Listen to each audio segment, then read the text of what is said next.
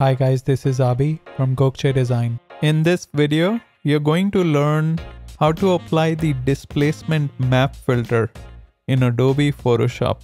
Let's start by activating the crop tool and setting the ratio to 16 by 9. Hit enter twice to commit your changes.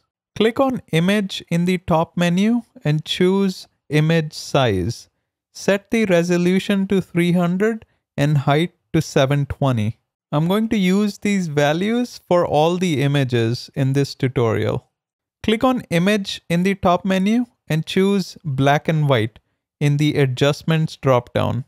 Click OK to accept the default values. Go to the filter menu and choose Gaussian blur from the blur dropdown. Pick a radius value of around 8 pixels. Click on File in the top menu and choose Save As.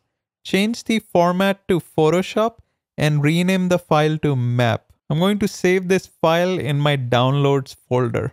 Next, open the texture file in Photoshop. Click on Image in the top menu and choose 90 degree clockwise under Image Rotation. Activate the Crop tool and change the ratio to 16 by 9. Hit enter twice to commit your changes. Click on image in the top menu and choose image size. Change the resolution to 300 and height to 720. Next, click on filter in the top menu and choose displace from the distort dropdown. With stretch to fit and wraparound selected, enter 30 for horizontal and vertical scale. Click OK and open the map.psd file. Our displacement map is now ready. Let's open the original image of the car in a separate tab. Use the crop tool to set the ratio of 16 by 9. Next, change the resolution to 300 and height to 720. Now create a brand new layer and go back to the previous tab. Click on select in the top menu and choose all. Use the Control or Command C shortcut to copy this and paste it in the new layer. Change the blend mode of this layer to subtract. Turn off the visibility of this layer and activate the background layer.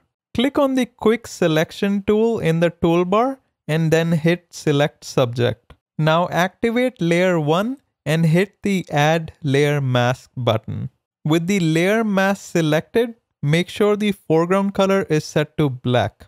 Use the brush tool to paint over any areas where you don't want the texture to be applied. Reduce the opacity of this layer to around 5%. Create a brand new layer and rename it to logo. Use the foreground color picker to pick a bright yellow color.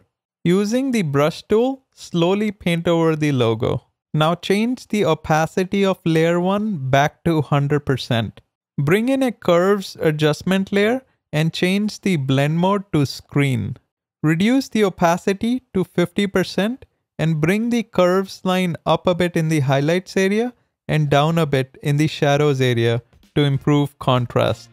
Finally, let's look at the before and after images. Looks good to me. Make sure you like, subscribe and turn on the notification bell. Until next time.